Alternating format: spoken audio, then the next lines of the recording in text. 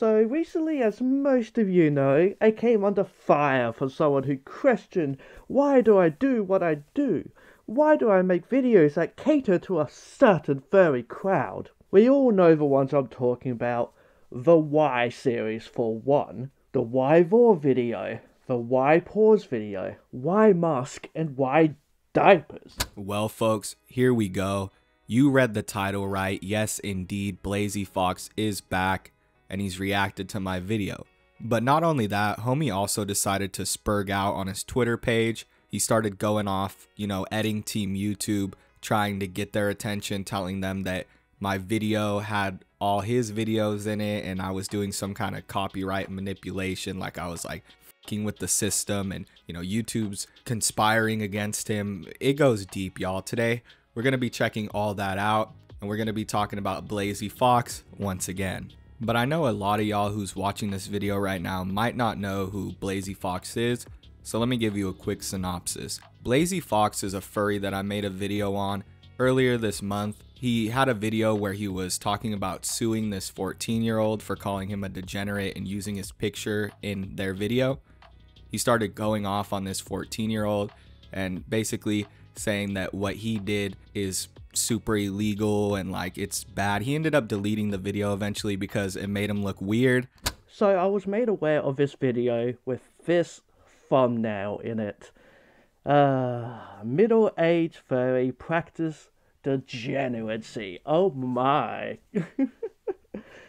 this, uh, so yes, I am being attacked. I am being attacked. Oh no, how, how, how scary. But uh, I'm more or less, I'm making this video because it's hilarious.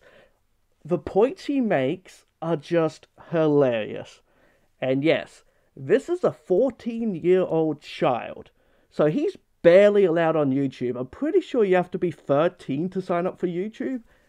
And the fact he is talking about, like, the stuff he does talk about, and like, like in other videos, it talks about degeneracy and all this kind of stuff. It's like, a minor should not be talking about this. So, yeah, YouTube should really be doing something about this. I have reported it.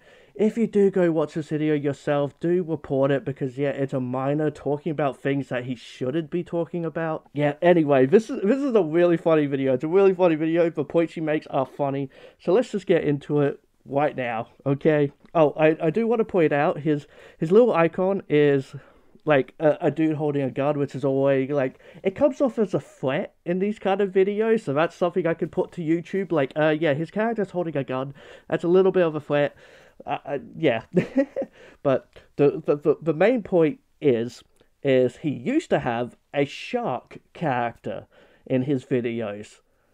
That's but yeah, his whole his whole thing is attacking furries and calling them degenerates and all this kind of stuff. But yeah, his icon was a shark was was a shark. Uh, you sound like a hypocrite, kid. let's let's jump into this video. Hello everybody, it is Shark Hunter here, and today I'm going to be reacting to a video called Replying to Furry Hate Comments. Uh, now, if you don't know, this person is a grown-ass 31-year-old man that... Alright, whoa, alright. Again, I'm not bullying this person. I'm like a teacher uh, looking at his report and giving him an F. because, for one, I'm 30 years old. I don't know where you got 31 years old from, but I'm 30 years old for one.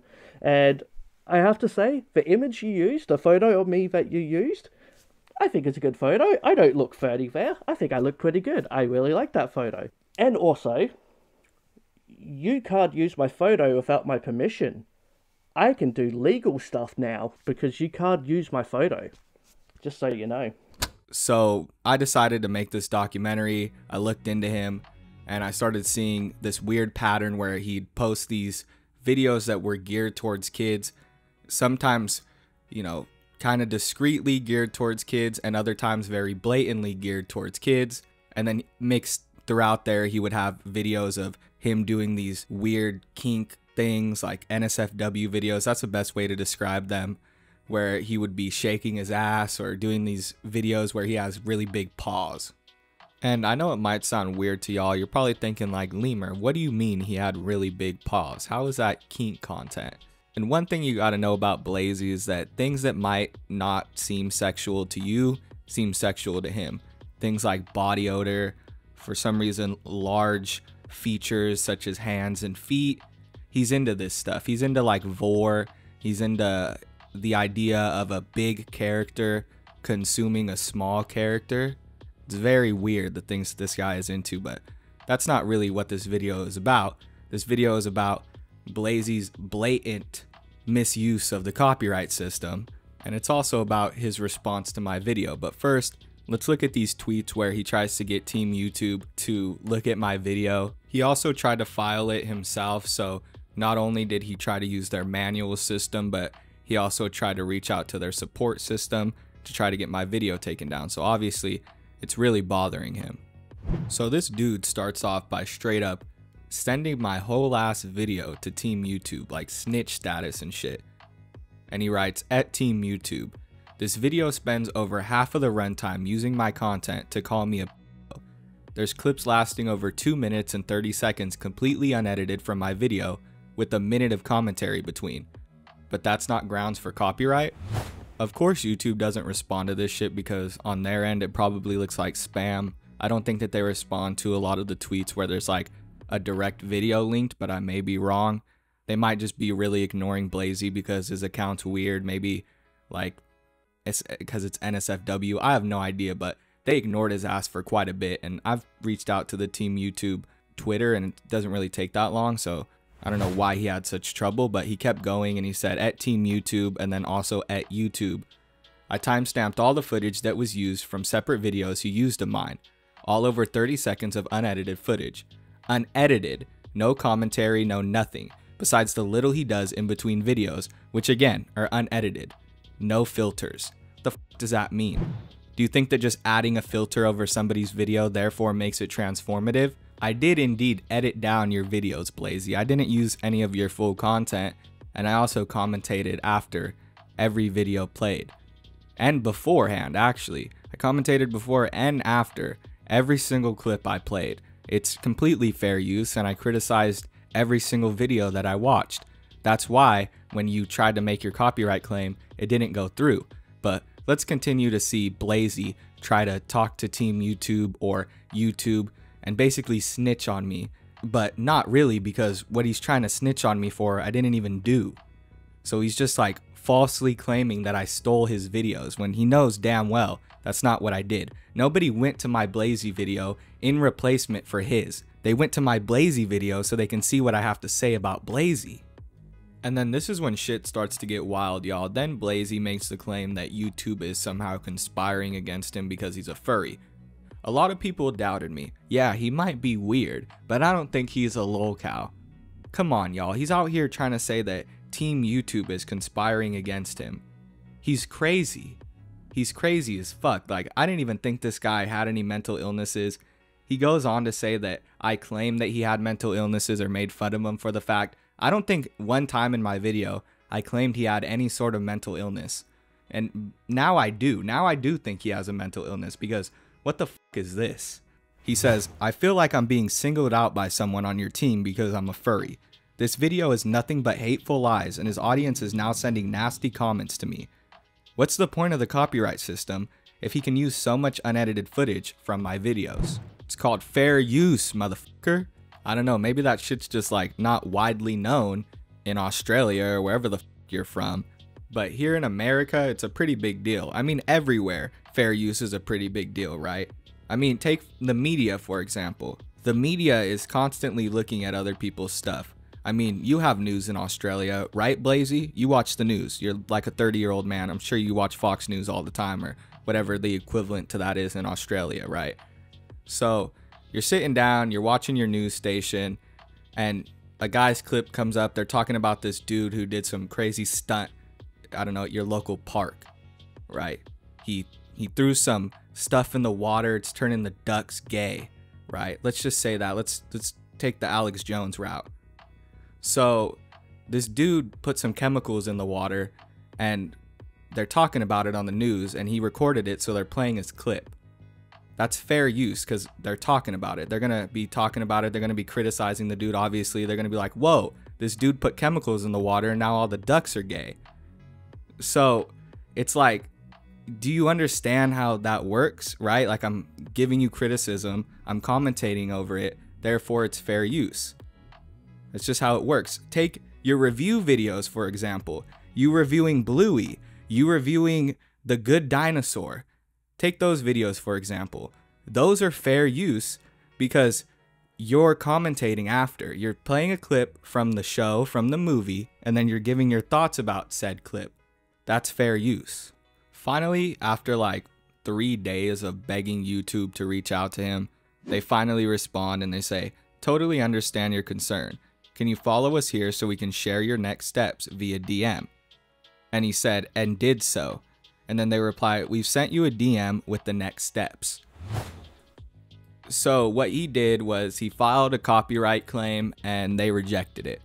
I got an email around the same time as these tweets went up. I didn't even know they were up at the time, but I did get the email. And it's an email explaining to me that they looked over my Blazie video and they found that it was in fair use and there was no reason for them to take it down, so it'll remain up. They also gave me a copy of every single filing that Blazie had made. Uh, so I had that as well, and he's really shitty at filing copyright claims either way. But it didn't even go through. Like once he did correctly file it, because the first time he left a lot of shit out, then once he did correctly do it, they rejected it almost instantly because my video is fair use. But the tweets don't end there, folks. We're gonna come back and look at another tweet that he made a couple of days ago, but I kind of want to go in chronological order here because it's important to the last tweet. Like, I want y'all to see his response before you see what he made for his last tweet, bro. He's been talking about me for like three weeks now. He's been worried about my video, stressing about it, you know, trying to get Team YouTube to look at it. And he's still thinking about it as of three days ago. I find it very weird that this 30 year old man can't just move on, right? I don't know what he thought. He thought that people were going to be on his side and everybody was going to support him, and he had so many slam dunks under his belt. The only thing that he showed was that his demographic is like almost 4% 13 year olds, and that's in a 28 day span. And that doesn't even really work with the video because the video was made, I think, around four years ago. So he would have to be going back four years. But this 28 days isn't going to tell us shit. Either way, that doesn't matter. If Blazie really wanted to clear his name, instead of showing us his demographic, he would show us how many subscribers he earned from that young furry video. That video where he's asking what's the right age to get a fursuit. I mean, come on, dog. Just show us. You say that you didn't earn a lot of subscribers from that video, but yet every time I ask you to show it, you just completely dodge me and pull that demographic out like it matters. And that's basically what Blazie's response video is all about. It's all about him trying to defend himself and say that his videos aren't for kids because he only has like seven videos for kids. I mean, you proved my argument, bro. You proved me right by saying that you have videos for kids on your channel. And you also have NSFW content on your channel. My argument was that you shouldn't have a channel where you have both because you're going to have kids going to that channel and they're going to stumble upon your NSFW videos whether you like it or not. You try to make the argument that it's the parents' responsibility and that they need to be checking what their children watch. How about don't upload kids content on the same channel you're uploading weird kink shit? Where you're uploading ABDL videos or whatever the acronym is. I, I don't care. You're wearing diapers, bro. That's a new revelation that I didn't cover in the original Blazie documentary, but he does indeed wear diapers as well. And that's something that we're going to be looking at later when we go back to his tweets, but but whatever, whatever, y'all. Let's just watch this response and see how good Blazie defends himself, right? So recently, as most of you know, I came under fire for someone who questioned why do I do what I do? Why do I make videos that cater to a certain furry crowd? We all know the ones I'm talking about. The Why series for one, the Why Vor video, the Why Paws video, Why Mask, and Why Diapers. Why do I, Blazie Fox, a 30 year old man, talk about naughty furry stuffs? I mean, it's almost like I'm a gay adult in a fandom that's mostly not safe for work. But let's really talk about this.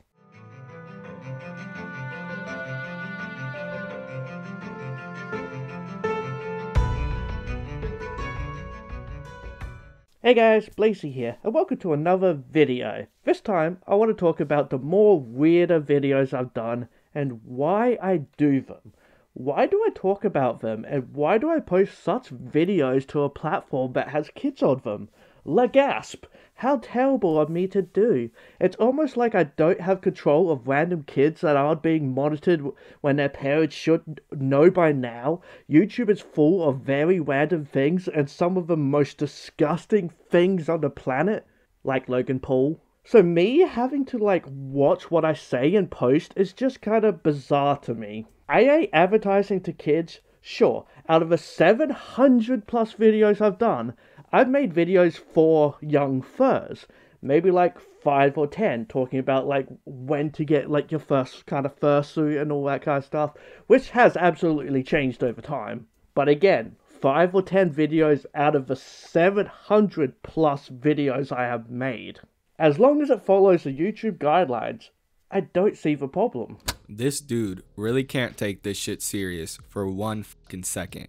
He really has to say legasp he's talking about the fact that he had NSFW content on a channel where there's videos tailored for minors, and he's saying legasp and blaming it on the parents.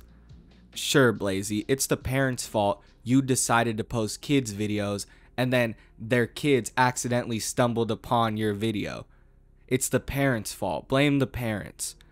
And there is an argument you can make when it comes to, you know, having kids watch content that they're not supposed to and you know some of that falling on the parents but in this situation we're not even talking about that that's a whole wider issue when it comes to kids going online and searching on YouTube but do you actually want to be part of that problem at this point it seems like he's fully embraced the fact that that's what he's doing he fully embraced the fact that he had this kids content on this channel to begin with and he quickly started posting NSFW once one of his kid videos went viral. It's very concerning, man. And a lot of people doubted me. They tried to say that this dude wasn't weird. I really don't understand how you can make any argument trying to defend this dude when he's sitting here posting these kids videos, admitting that he has 5 or 10 kids videos on his channel and then posting these ABDL videos, why Musk, he's posting kink videos. He like all the fucking time, dude. And then interlacing Bluey videos. How can you sit there and think that a kid isn't going to stumble upon that? You think that a majority of adults are watching Bluey videos? It's not a majority of adults, it's kids. Bluey is a kid show. As much as you try to say that adults watch it, I'm sure that they do. But the main demographic, the target for that show, is kids. There's no arguing that. I never asked you why you were making those videos. I know why you were making those videos and I really don't care.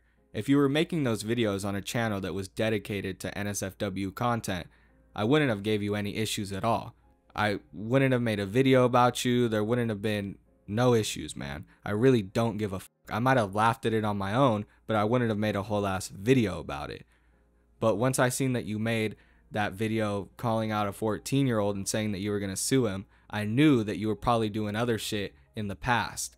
So I looked into it and for sure you were doing weird shit. And Blazie has fully absorbed the degenerate lifestyle. Apparently, all his friends have left him, his family has left him, and he's having a really hard time. He wrote this crazy Twitter post where he's asking people for money and he's basically making the claim that, like, I destroyed his whole life. He wrote, Been a rough week. YT drama calling me bad things and YT itself not helping. Mum not respecting me. Friends abandoning me. Working ass off. Stress so much, making myself sick and not eating and lose weight. Is anyone able to send some money so I can afford some takeout? Thank you. And then he gives his whole ass PayPal out. Now, I'm going to blur his PayPal in this video because I don't want y'all sending him anything. I doubt anybody would anyway, but you know, some people just like to be weird and they'll go and try to start messing with him or buddy troll him or some shit like that. And, you know, we don't need all that shit around here. This is always like the default lolcow reaction to getting called out. They always start trying to look for sympathy. They say that their family left them, their friends left them, they're all alone, they have no money, they have no house, their car broke down, they're stranded, they need food, they need water. You know, they say all this crazy shit, right? And they e beg, they like default to e begging. It's a crazy thing to see, but it happens all the time. It's just the lolcow cycle, and you know, Blazie is definitely falling into that cycle rather quickly. He reminds me a lot of Earl Dube. You know what I mean with the speech impediment and the involvement with children and all that mess of stuff. You know what I mean? He's just kind of got like Earl Dube written all over him. You know, it's pretty crazy. It's almost like I found my own furry Earl Dube. It's it's wild, y'all. Try to say that five times fast. It's a it's not an easy one. So I made this interesting revelation when I was looking at Blazie's replies while I was doing research for this video, I just wanted to see what else he's been up to. And I saw that he replied to this person who was going on a long winded rant about the ABDL community. Now, I'm not going to read this whole thing. I'll show it to you, but I'm not going to read it. You can pause if you want to read it, but it's basically a bunch of nonsense about how people who hate on ABDL are like projecting or something like that. Then Blazie comes in and he replies, yeah, I did a video talking about the diaper furry community and the amount of comments I got calling them the worst of the worst kind of names. And it's like, dude, some people just like comfort around their crotch. Why does that affect you so much? The hate is so dumb. And then somebody says, link to the video. I'd love to give it a look. And then Blazie gives a link to this video I didn't even know exist, but he talks about why people wear diapers. And of course, I'm going to be playing this video I, I can't just not play this video, y'all. But before I play this video, there's one more tweet that I want to read. We might as well get it out of the way before we react to this video. And that's this tweet that comes from a little while back in September. So before the video came out that I made and before he made his video towards Shark Hunter, in a tweet in September, Blazie went on a rant about why KSI should set his channel for kids. He says, because these guys are specifically targeting children, but their channel aren't set to this is for children when it should be. Their products aren't healthy in any way, so that's not a good thing to advertise to kids. They are known scammers, not businessmen. I think this was in reference to Prime, or maybe was a whole mixture of things that KSI has done, but this is so ironic coming from him, so hypocritical, man, to hear this dude talk about how somebody else should be setting their video for kids or vice versa, right? He's basically making the claim that KSI's content is for kids. And I do agree. I think that KSI has a lot of kids watching him. But the difference between you and KSI is that, you know, KSI doesn't post NSFW content directly on his channel, or at least not that I know of, right? And you're directly posting NSFW content on your channel. It's really rich for you to try to make the claim that somebody else should set their videos for kids or you know like i said vice versa when in fact that's something that you should be doing. You should be setting your videos not for kids. Actually you should just not have any kids content on your channel at all. There should be no like having nsfw and then having kids content and then setting the nsfw to 18 plus only just don't make the content at all on the same channel it's that easy so now that we got that out of the way, that's basically all the tweets that we're going to be looking at because now we have Blazy talking about diapers, why he likes diapers, why people wear diapers. I mean, all the lolcows got to wear diapers, right? So here he is. Without further ado, the reason y'all are here, Blazie Fox telling y'all why you should wear diapers. Why diapers? Is it because they're soft and cuddly feeling? Is it because of the extra padding when you're sitting down? Is it because it makes you feel like a child and you lose some of that stress from your adult life? I honestly don't know, because unlike Paws and Vor, the other two why videos I've done, I'm not into diapers.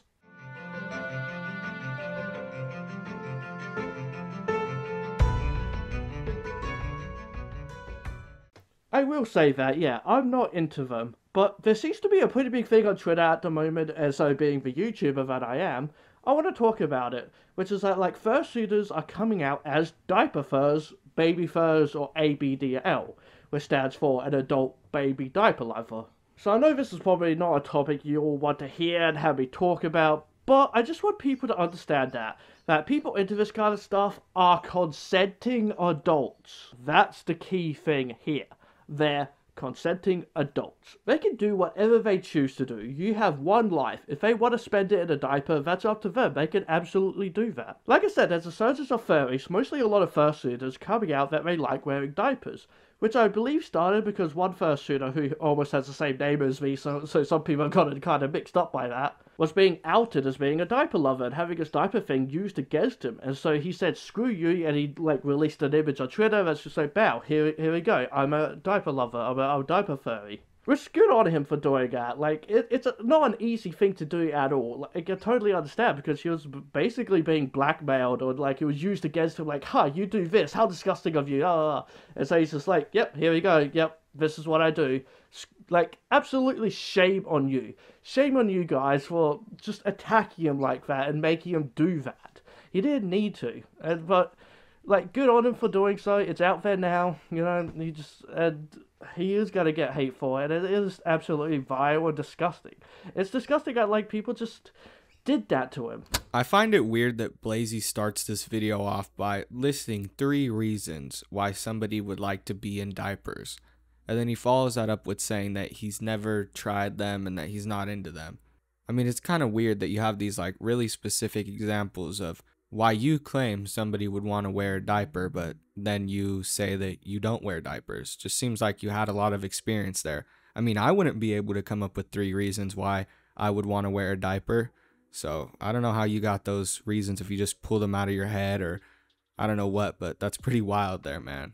And then he's got to start trying to justify it by saying it's between two consenting adults and, you know, people shouldn't kink shame, yada, yada, yada. It doesn't matter, dude. If you're pretending to be a child and you're doing it sexually, then you're a weirdo and you deserve to be shunned. You deserve to be pushed off the internet. Like, people should not want to talk to you. People should dislike you. That's just how it works, man. Those are things that society should look down upon. If you're wearing a diaper and you're doing it sexually and you're like, having some kind of relationship with somebody where you're pretending to be a child, that's obviously not right.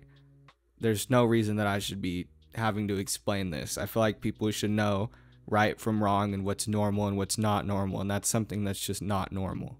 But folks, that's all we have for Blazie Fox today. This was a really long video. I usually don't make videos this long when it comes to commentary. This is more like a documentary slash commentary video. I don't know if I'm going to title it as a documentary, but it I did put a lot of work into it. I mean, I feel like you can tell. I looked through a lot of his tweets. I did a lot of editing here. I tried my best to make it entertaining for y'all, and I had a lot of material to work with. I feel like this isn't going to be the last that we see Blazie Fox. He's fallen into the lolcow cycle, and he's just going to continue to get worse and worse. And y'all, my brain is fried. I mean, just a couple days ago, I was talking about how my brain was fried from making that Cyrax video. But man, imagine having to listen to a furry talk for like 30 minutes. That shit will fry your brain. And then imagine doing that shit on repeat, like four videos. And then, man, having to sift through his tweets, I can make a whole nother video about that. But before I do that, I'm going to need another advanced brain surgery. They're going to have to go in with like a laser beam. It's like this new advanced laser beam surgery. It's going to cost a lot of money. It's going to cost a lot of time. So, you know, make sure you like, comment, and subscribe so I can recover quickly. Really helps out in the algorithm, y'all, and it's it's going to make my healing process so much easier. Thank you guys for watching. I'll see y'all in the next one. Peace.